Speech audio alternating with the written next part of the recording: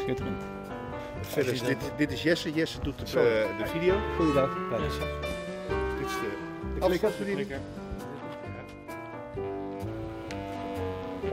Hier zie je exact ja. wat je daar eh, ziet. Daar ja.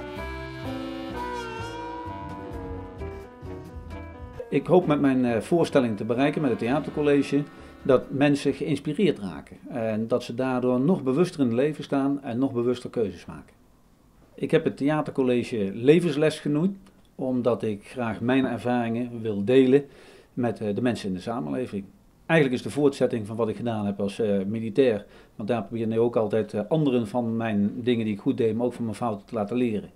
En ik hoop dat ook een burgerpubliek uiteindelijk toch uh, bereid is om te leren van een aantal dingen die ik uit mijn rugzak haal.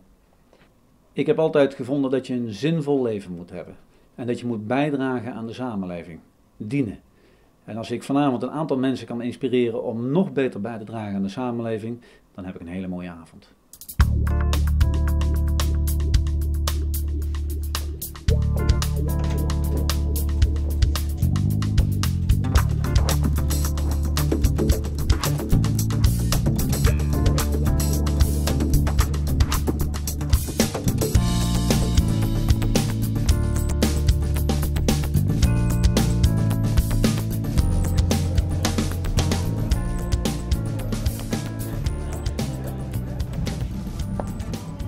Goedenavond, dames en heren. Goedenavond, jongens en meisjes.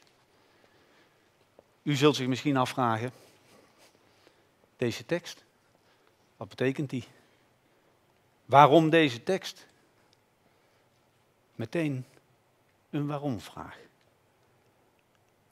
Deze tekst geeft aan dat je niet op iedere waarom-vraag een antwoord krijgt. Wat mij betreft is het theatercollege geslaagd als mensen uh, vanavond, als ze naar huis gaan, denken van verdorie, ik ben er nog mee bezig. Of morgen zomaar op een dag dat ze denken van hé, hey, wat zei die Venum gisteravond? Want dan heb ik mensen echt geraakt en is het onder hun huid gaan zitten. Het zou mooi zijn als dat lukt.